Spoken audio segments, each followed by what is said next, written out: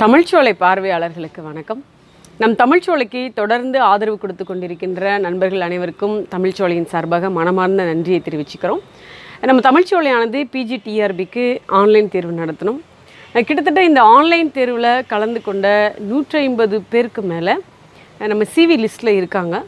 அதுலேயும் முதல் முந்நூறு இடங்களுக்குள்ள ஒரு எழுபது பேர் நம்ம சிவி லிஸ்ட்டில் இருக்காங்க. அது மிகுந்த மகிழ்ச்சி தரக்கூடியதாக இருக்குது நம்ம இந்த காணொளியில் நம்ம சொல்கிறதோடைய நோக்கம் என்ன அப்படின்னா பிஜிடிஆர்பிக்கு தேர்ச்சி அடைந்தவர்களுக்கு மனமார்ந்த வாழ்த்துக்கள்.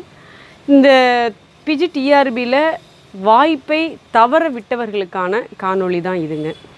சரி வாய்ப்பை தவற விட்டுட்டோம். அடுத்து என்ன செய்யலாம் அப்படிங்கிறதுக்கு தான் இந்த காணொலியை போடுறதோடைய நோக்கமே அதுதான். இப்போ பார்த்தோம் அப்படின்னா தேர்ச்சியில் அதாவது தேர்வில் வெற்றி பெற்றவர்களும் சரி வாய்ப்பை தவறவிட்டவர்களும் சரி இரண்டு பேருமே ஒரு விஷயத்தில் ஒரே மாதிரி தான் இருக்காங்க. என்ன அப்படின்னா தாங்கள் படித்து கொண்டு வந்ததை அப்படியே நிறுத்தி விட்டது தான் அந்த ரெண்டு அந்த ஒரு விஷயத்தில் ரெண்டு பேரும் ஒரே ஒரே மாதிரி தான் இருக்காங்க. வெற்றி பெற்றவங்களும் சரி வாய்ப்பை தவற விட்டவர்களும் சரி. படிச்சுட்டு வந்ததை அப்படியே நிறுத்திட்டாங்க. வெற்றி பெற்றவர்கள் என்ன நினைக்கிறாங்க? நம்ம தான் வெற்றி அடைஞ்சிட்டோமே. இனிமேல் எதற்கு? அப்படிங்கிறத படிப்பை நிறுத்திட்டாங்க. அதுதான் நிதர்சனமான உண்மையை அதுதான் சொல்லணும். இதை நண்பர்கள் ஏற்றுக்குவீங்க அப்படின்னு நினைக்கிறேன். பெரும்பாலானவங்க அப்படி தான் இருப்பீங்க. அதோடு இந்த புக் எடுத்து பார்க்குறது படிக்கிறது அதெல்லாம் அப்படியே நம்ம நிறுத்திட்டோம். அதே மாதிரி வாய்ப்பை தவற விட்டவர்கள் என்ன செய்கிறாங்க அப்படின்னா அவங்களும் அதே நிலைமையில தான் இருக்காங்க. நம்ம தான் வாய்ப்பு போயிடுச்சு நமக்கு இது கிடைக்காது எல்லாம் விதிப்படி தான் நடக்கும். நமக்கு அதிர்ஷ்டம் இல்லை. இப்படி ஏராளமான வார்த்தைகள் சப்பை கட்டுவதற்கு நம்ம நிறைய வார்த்தைகள் வச்சுருக்கோம். அதையெல்லாம் சொல்லிட்டு நம்மளும் அந்த படிப்பை நிறுத்திட்டோம். இங்கே தான் நம்ம எல்லாருமே தப்பு பண்ணுறோம் நிச்சயமாக நண்பர்கள் இந்த மாதிரி இருக்க வேணாம். வெற்றி பெற்றவர்கள் இன்னமும் தங்களுடைய அறிவை மேன்மேலும் வளர்த்து கொள்ள வேண்டும். அதுக்காக படிக்கணும். வாய்ப்பை தவற விட்டவர்கள் இன்னமும் அதிகமாக கடினமாக நீங்கள் உழைத்து படிக்க வேண்டும். நிச்சயமாக இதுதான் நம்ம வெற்றிக்கு தொடர்ந்து நம்ம வந்து நிலைத்து நிற்க வேண்டும் அப்படின்னா தொடர்ந்து நம்ம படித்து கொண்டே இருப்பது தான் படிப்பு என்பது வந்து ஒரு வாழ்நாள் தொடர் நிகழ்வாக நமக்கு இருக்கணும். அது வந்து ரொம்ப முக்கியம். இப்போ இந்த வாய்ப்பை தவற விட்டவர்கள் இப்போ என்ன செய்யலாம்? வாய்ப்பை தவற விட்டுட்டோம் கேட்டால் நான் நாலு மார்க்கில் போயிடுச்சு இன்னும் ரெண்டு மார்க் வாங்கியிருக்கலாம் மூணு மார்க் வாங்கியிருக்கலாம். இல்லை நான் இன்னும் கொஞ்சம் முன்னாடி இருந்து படிச்சிருந்துருக்கலாம். நான் இந்த புத்தகத்தை படிக்காமல் ப விட்டுட்டேன் அதை படிச்சிருந்துருக்கலாம். அப்படிங்கிற மாதிரி நிறைய வந்து நமக்கு வந்து வாய்ப்பை தவற விட்டவர்களுக்கு நிறைய அதற்கான காரணங்கள் நம்ம அடுக்கிக்கிட்டே போவோம். எல்லாமே சரிதான் இல்லைன்னு சொல்லலை. ஆனால் சரி இதை இப்படியே விட்டுறலாமா? வாய்ப்பு போயிடுச்சு. இனிமேல் ஒன்றும் பண்ண முடியாது. சிவி லிஸ்ட்டில் நம்ம பேர் வரல. சரி நமக்கு நல்லா தெரியுது. நமக்கு அந்த வாய்ப்பு இல்லை அப்படிங்கிறது. அடுத்து நம்ம என்ன பண்ணலாம் அப்படிங்கிறது தான் இந்த காணொலியினுடைய நோக்கம். அடுத்து என்ன பண்ணலாம் அப்படின்னா தொடர்ந்து இதற்கு முன்னாடி நீங்கள் எப்படி கடுமையாக உழைத்து முயற்சி எடுத்து நீங்கள் படிச்சீங்களோ அந்த படிப்பை மீண்டும் அதே அந்த உழைப்பு முயற்சியோட நீங்கள் தொடர்ந்து படிக்கணும் அப்படிங்கிறத எங்களுடைய தாழ்மையான வேண்டுகோள். ஏன்னா அதுதான் நம்ம வெற்றிக்கு ஒரு வழி. அது முடிஞ்சோடனே அதை அப்படியே தூக்கி வச்சுட்டு எல்லாத்தையும் மூட்டை கட்டிக்கிட்டு அப்படியே நம்ம அவ்வளோதான் நமக்கு எல்லாம் முடிஞ்சிருச்சு. அப்படின்னு உட்கார்ந்துருக்கிறதுல வந்து எந்த விதமான பயனும் இல்லை. எந்த பிரயோஜனமுமே இல்லை. நம்ம தொடர்ந்து படிச்சுக்கிட்டே இருக்கணும். சரி என்ன பண்ணலாம்? இப்போ நிறைய பேர் உங்களுக்கு சொல்கிறவங்க சொல்லுவாங்க. இனிமேல் நிறைய கேள்விகள் கேட்குறவங்களும் அப்படி தான் கேட்குறாங்க. அடுத்து மேடம் எப்போ அடுத்து வந்து பிஜிடிஆர்பி வரும்? இனிமேல் வருமா? வராதா? இனிமேல் வராதுன்னு சொல்கிறாங்களே இந்த மாதிரி நிறைய வினாக்கள் நண்பர்கள் கேட்குறாங்க. கண்டிப்பாக வரும். இது ஏன் வரா வர ஏன் வராமல் போகும் அப்படின்னு எப்படி நினைக்கிறீங்கன்னு எனக்கு தெரியல. ஏன்னா யாருமே ஐம்பத்தெட்டு வயதான எல்லாருமே வந்து பணி ஓய்வு பெற்று தான் ஆக வேண்டும். எல்லாம் ரிட்டைர்மெண்ட் ஆகிட்டு தான் இருப்பாங்க பள்ளியில். எல்லா வேலையிலையுமே அப்படி தான் அப்போ அடுத்தடுத்து புதிய பணியிடங்கள் காலி பணியிடங்கள் வந்து அரசு வந்து போட்டுட்டு தான் இருக்கணும். இது வந்து எல்லாருக்குமே தெரிஞ்ச விஷயம் தானே. ஏன் வந்து வராது? ஏன் அப்படி நினைக்கிறீங்க? சொல்கிறது சொல்கிற வெற்றி பெற்றவர்கள் சொல்லுவாங்க இதுதான் கடைசியாக இருக்கும் அப்படின்னு கூட சொல்லலாம். எல்லாரையும் சொல்ல வர சிலர் சொல்லலாம் இதுதான் கடைசியாக இருக்கும். எனக்கு இப்படி இந்த வாய்ப்பு கிடைச்சிச்சு. நல்லது விஷயம். ஆனால் அப்படி இல்லைங்க. தொடர்ச்சியாக வரும். எல்லா தேர்வுகளுமே அப்படி தான் பிஜிடிஆர்பின்னு இல்லை. அரசு வைக்கக்கூடிய எல்லா அரசு பணி தேர்வுகளுக்குமே வந்து எதுவுமே முற்றுப்புள்ளி என்பது கிடையாது. எல்லாமே ஒரு தொடர் நிகழ்வு தான் பள்ளிக்கூடங்கள் இருக்கிற வரைக்கும் கண்டிப்பாக பணியிடங்கள் காலி ஆகிட்டு தான் இருக்கும். நிச்சயமாக நமக்கும் அதற்கான தேர்வு வச்சுக்கிட்டு தான் இருப்பாங்க. இது வந்து ஒரு தெளிவான உண்மை தான் இதில் வந்து நீங்கள் ஐயப்படுறதுக்கோ கலக்கம் அடையிறதுக்கோ எந்த இதுவுமே கிடையாது. அதனால் நீங்கள் என்ன பண்ணுங்கள் தொடர்ந்து படிங்க. எக்ஸாம் வந்துக்கிட்டே தான் இருக்கும். எல்லாம் ரிட்டைர்மெண்ட் ஆகிட்டு தான் இருப்பாங்க. அதுக்கடுத்து காலி பணியிடங்கள் வந்துக்கிட்டு தான் இருக்கும். நம்ம பண்ணுற ஒரு தவறு என்ன அப்படின்னா எப்போ தேர்வுன்னு அறிவிக்கிறாங்களோ அப்போ தான் நம்ம புத்தகத்தை எடுக்க ஆரம்பிக்கிறோம். தேர்வுன்னு அறிவிச்சாதான் புத்தகத்தை எடுக்க ஆரம்பிக்கிறோம். அது நம்ம பண்ணுற வந்து மிகப்பெரிய தவறுங்க. தேர்வு வருவதற்கு முன்னாடியே என்ன பண்ணணும்? நம்ம தயாராகணும். அது நம்ம வள்ளுவ பெருந்தகை சொல்கிற மாதிரி வருமுன்னர் காவாதான் வாழ்க்கை எரிமுன்னர் வைத்தூறு போல கெடும்பர் ரொம்ப அருமையான ஒரு குரல். இது வந்து நம்ம இந்த தேர்வுக்குன்னு இல்லை நம்ம வாழ்க்கையில் நடக்கக்கூடிய ஒவ்வொரு விஷயத்துக்குமே இந்த குரல் நம்ம மனதில் வச்சுக்கணும். வருமுன்னர் காவாதான் வாழ்க்கை எரிமுன்னர் வைத்தூறு போல கெடுங்கிறாரு அது மாதிரி நம்ம வரு ஒன்று வருவதற்கு முன்னாடி என்ன பண்ணணும்? அதுக்கு தயாராகிக்கணும். நல்லதோ கெட்டதோ ரெண்டு விஷயத்துக்குமே அதை எதிர்கொள்ள நம்ம தயாராகிக்கணும். அப்படிங்கும்போது எப்படியும் வந்து டிஆர்பி வரும். எப்போ வராமல் போணுச்சு? வரும் தான் இதுக்கு ஒரு ரெண்டு வருஷத்துக்கு முன்ன- இந்த டிஆர்பி வருவதற்கு முன்னாடி நம்ம இதே டைலாக் இதே வசனம் தான் சொல்லிக்கிட்டு இருந்தோம். வராது வராது. வந்துருச்சு. எழுதிட்டோம். இப்போ மீண்டும் அந்த பழைய வசனத்துக்கே போகிறோம் வராது வராதுன்னு. அப்போ திடீர்னு வரும். அப்போ என்ன பண்ணுவோம்? திடீர்னு புத்தகத்தை எடுத்து படிப்போம். அதனால் நான் என்ன நண்பர்களுக்கு நான் என்ன தாழ்மை என்ன சொல்லிக்கிறேன் அப்படின்னா டிஆர்பி தேர்வு கட்டாயம் வரும். கால அளவு நமக்கு சொல்ல முடியாது. அது வந்து அரசு பார்த்து காலி பணியிடங்கள் எப்படின்னு ஆனால் வரும். ஒரு ஆண்டு ஆகலாம் இரண்டு ஆண்டு ஆகலாம். நிச்சயமாக டிஆர்பி எக்ஸாம் வரும். அப்போ அதற்கு நம்ம அன்னைக்கு தான் தயாராகணும் அப்படின்னு நம்ம நினைக்கிறது தான் முதல் தவறு. அப்போ இன்னையிலேருந்து நம்ம தயார் இன்றிலிருந்தே தயாராகணும். படிச்சிருக்கீங்க. நண்பர்கள் எல்லாம் நிறைய பேர் வாய்ப்பை தவற விட்டவர்கள் எல்லாமே வந்து படிக்காமல் கிடையாது. நிறைய நண்பர்கள் நிறைய மதிப்பெண் வாங்கிங்க தொண்ணூறு தொண்ணூத்தொன்று எண்பது எழுபத்தைந்துக்கு மேலே நீங்கள் வாங்கியிருக்கீங்கனாலே என்ன அர்த்தம்? நல்லா படிச்சிருக்கீங்கன்னு தானே அர்த்தம். சும்மா அந்த எழுபத்தைந்து மதிப்பெண் எப்படி வரும்? அரசு நிர்ணயம் பண்ணியிருந்தது எழுபத்தைந்து மதிப்பெண்கள் குறைந்தபட்ச மதிப்பெண் எடுத்திருக்கணும் அப்படின்னு. வாங்கியிருக்கீங்களே? எத்தனை பேர் வாங்கியிருக்கீங்களே? மூவாயிரத்துக்கும் மேற்பட்ட நண்பர்கள் இந்த எழுபத்தைந்து மதிப்பெண்ணை தாண்டி தானே வாங்கியிருக்கீங்க. அப்படிங்கும்போது அது மிகப்பெரிய ஒரு விஷயம் அல்லவா? பாராட்டப்பட வேண்டிய விஷயம் அல்லவா? அப்போ உங்ககிட்ட அந்த ஸ்கில் இருக்குது நீங்கள் எழுபத்தஞ்சு தாண்டி இருக்கீங்க அப்போ தாண்டாதவங்களுக்கு ஸ்கில் இல்லைன்னு நான் சொல்ல வரல. அவங்களுக்கு இருக்குது என்ன அவங்க ஏதாவது ஒரு நேரம் அதுக்கு செலவிடாமல் இருந்திருப்பாங்க? அல்லது வந்து இன்னும் கொஞ்சம் முயற்சி எடுக்காமல் இருந்திருப்பாங்க? இதுதான் வித்தியாசம். அப்போ வெற்றி பெற்றவர்களுக்கும் வாய்ப்பை தவற விட்டவர்களுக்கும் பெரிய ஒரு இடைவெளியெலாம் ஒன்றும் கிடையாது. பெரிய டிஸ்டன்ஸ் ஒன்றும் கிடையாது. கொஞ்சம் தான் அந்த அந்த அந்த கொஞ்சங்கிற இடத்துல தான் நம்ம என்ன பண்ணுறோன்னா அந்த இடத்த தான் இப்போ நீங்கள் முறைப்படி அதை ஃபில் பண்ணுங்க அப்படின்னு சொல்கிறேன் என்ன பண்ணலாம்? இப்போ இருந்தே படிங்க. படித்தது திரும்ப படிச்சுக்கிட்டே இருங்க. அதுதான். இப்போ நான் முன்னெல்லாம் நம்ம ஒரு காணொளி வெளியிட்டோம் தமிழ்ச்சோலையில் அப்படின்னா வெளியிட்ட உடனே அதை என்ன பண்ணுவாங்க? நூற்றுக்கணக்கான இப்போ ஒரு நாள் ரெண்டு நாளில் பார்த்தீங்கன்னா ஆயிரக்கணக்கான நண்பர்கள் அதை பார்த்துருவாங்க. பார்த்துட்டு அது கமெண்ட் பண்ணுறதோ இல்லை சொல்கிறதோ செய்வாங்க.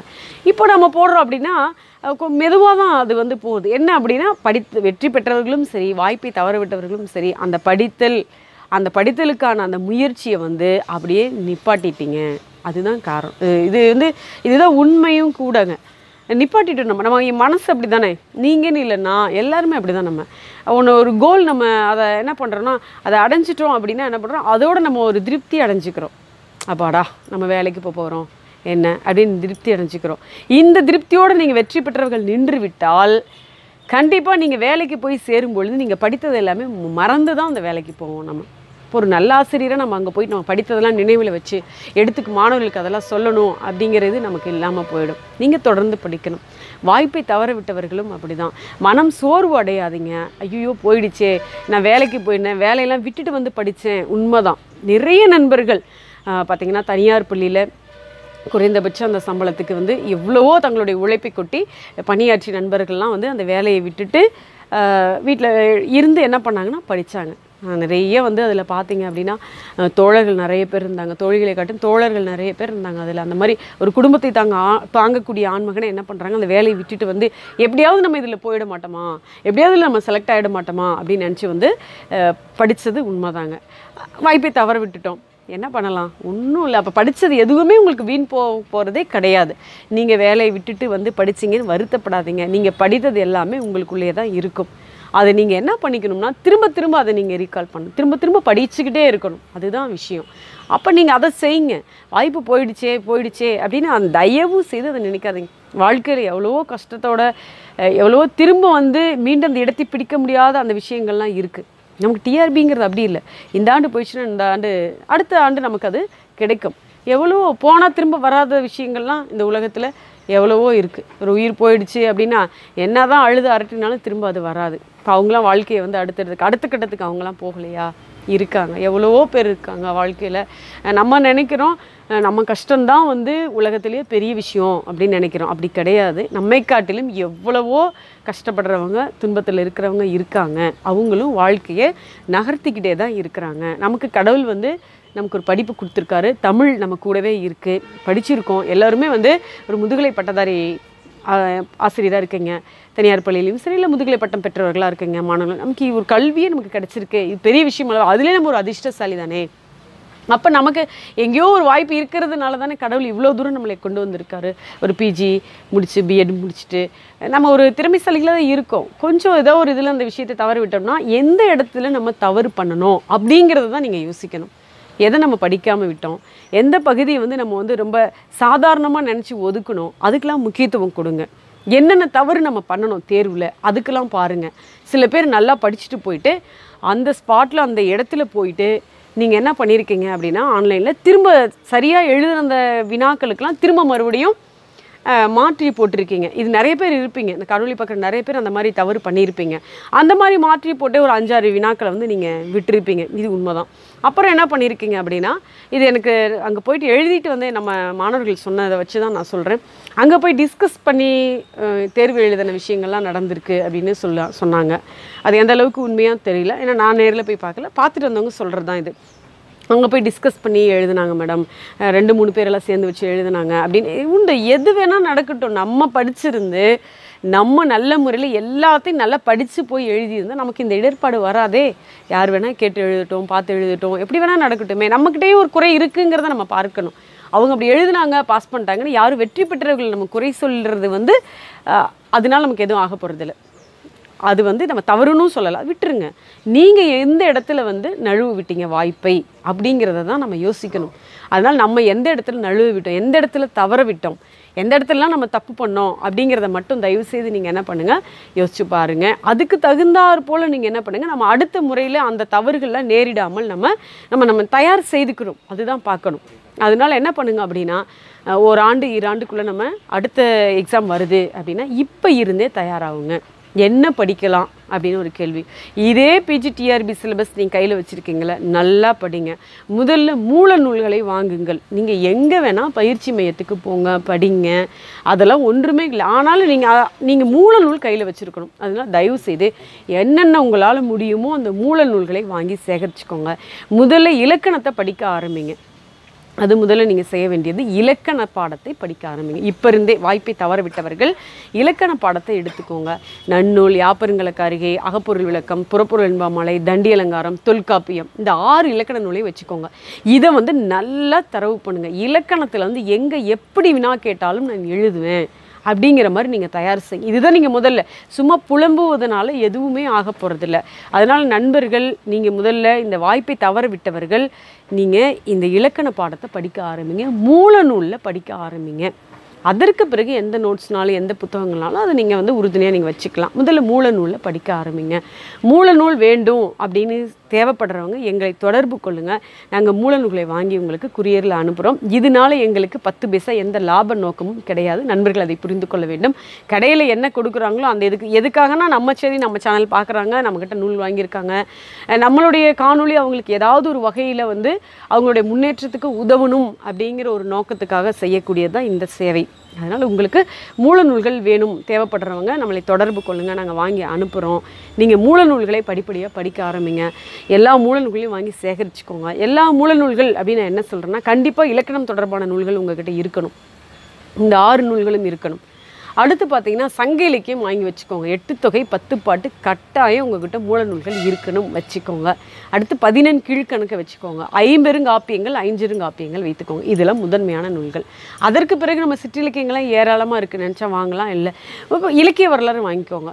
அதில் வந்து நம்ம உலக தமிழ் இலக்கிய வரலாறு தமிழாராய்ச்சி நிறுவனம் வெளியீடு. அந்த புத்தகம் வந்து எங்ககிட்ட இப்போ இருக்குது இப்போ வாங்கி வச்சுருக்கோம். உங்களுக்கு தேவைப்பட்டுச்சுன்னா சொல்லுங்கள் அந்த புத்தகங்களையும் நாங்கள் அனுப்புகிறோம் வாங்கி அனுப்புகிறோம் இந்த மாதிரி மூல நூல்களை சேகரித்து கொஞ்சம் கொஞ்சமாக சேகரிங்க. ஒன்றும் உங்களை வந்து உடனே வந்து இதெல்லாம் வாங்க சொல்ல. ஒவ்வொரு நூல் ரெண்டு நூல் மூன்று நூல் இந்த மாதிரி வாங்கி நம்ம எவ்வளவோ செலவு பண்ணுறோம் உடைக்கு செலவு பண்ணுறோம் உணவுக்கு செலவு பண்ணுறோம் ஆடம்பர விஷயத்துக்கு எவ்வளவோ செலவு பண்ணுறோம் அதெல்லாம் நம்ம ஏன் என்ன எதுன்னு கேட்காமலாம் அந்த பணம் கொடுத்து செலவு பண்ணுறோம் ஆனால் நூல்களுக்கு மட்டும் நம்ம செலவு பண்ண ரொம்ப தயங்குறோம். என்கிட்ட ஏற்கனவே ஒரு இலக்கிய வரலாறு இருக்குது நான் ஏன் அதை வாங்கணும்? இந்த புத்தகம் இருக்குது இது ஏன் வாங்கணும்? அப்படி தான் நம்ம கேட்குறோம். ஏற்கனவே இவ்வளோ துணிமணிகள் நம்மக்கிட்ட இருக்குது ஏன் இந்த பண்டிகைக்கு நம்ம எடுக்கணுமான்னு நம்ம யோசிக்கிறது இல்லை ஆனால் இதுக்கு நம்ம யோசிக்கிறோம். அதனால் நண்பர்கள் நூல்கள் வந்து உங்களுக்கு முதலீடு. அறிவின் முதலீடு. கண்டிப்பாக அதை நீங்கள் வாங்கி வச்சுக்கோங்க. வாய்ப்பை தவறவிட்ட நண்பர்கள் சற்றும் மனம் என்னாகாதீங்க. சோர்வு அடையாதீர்கள். வாழ்க்கையில் போராடத்தான் நம்ம பிறந்திருக்கோம். நம்ம பிறப்பே போராட்டம் தான் அது நமக்கு தாயின் வயிற்றிலேருந்து வெளிவரதே ஒரு பெரிய போராட்டம் தான். போராட்டம் நடத்தி தான் இந்த உலகத்துக்கு நம்ம வந்திருக்கோம். அப்படிங்கும்பொழுது அடுத்தடுத்து எல்லா படிநிலைகளிலும் நமக்கு போராட்டம் இருக்கத்தான் செய்யும். நீங்கள் நினைக்கிறீங்க வேலைக்கு போயிட்டு அரசு வேலை கிடச்சிச்சு அவனுக்கு என்ன அப்படின்னு நினைக்காதீங்க. அவனுக்கு வாழ்க்கையில் கடவுள் ஏதோ ஒரு போராட்டத்திலோடு தான் அவங்க வாழ்ந்துக்கிட்டு இருப்பாங்க. அது வேறு வகையான போராட்டமாக இருக்கலாம். உடல்நலக்குறைவாக இருக்கலாம் பணம் அந்த மாதிரி விஷயமா இருக்கலாம். வேறு ஏதாவது மனம் எப் நிறைய இருக்குங்க. நமக்கு வந்து கஷ்டப்படுறதுக்கு நம்ம கவலைப்படுறதுக்குன்னு என்ன விஷயமா இல்லை ஏராளமாக இருக்குது நம்ம இது ஒன்றையே நினச்சிட்டு இருக்கக்கூடாது. அதனால் வாய்ப்பு தவற விட்டுட்டோமா விட்டுருங்க அடுத்து எழுந்து நில்லுங்க அடுத்து படிக்க ஆரம்பிங்க. அதே மூச்சோடு என்ன பண்ணுங்க? படிங்க படிங்க படிச்சுட்டே இருங்க எப்பொழுதுமே. கண்டிப்பாக அந்த நீங்கள் வந்து பரிச்சு வந்தால் தான் படிப்பேன். தயவுசெய்து நினைக்காதீங்க நண்பர்களே. நம்ம தமிழ்ச்சோலை நண்பர்கள் நிச்சயமாக எதுலேயுமே சலைப்படைய மாட்டாங்க சோர்வடைய மாட்டாங்க. நிச்சயமாக வெற்றி பெறுவாங்க அப்படிங்கிற நம்பிக்கை எனக்கு இருக்குது இப்போ நீங்கள் இந்த முந்நூறு பேர் இன்றைக்கி போஸ்டிங் போடுறாங்க அப்படின்னா இந்த முந்நூறு பேருமே முதல் டிஆர்பிலேயே செலக்ட் ஆனவங்களா? நீங்கள் கேட்டு பாருங்கள் இருப்பாங்க. ஒரு ப டென் பர்சன்ட் இருப்பாங்க பத்து பர்சன்ட் இருப்பாங்க.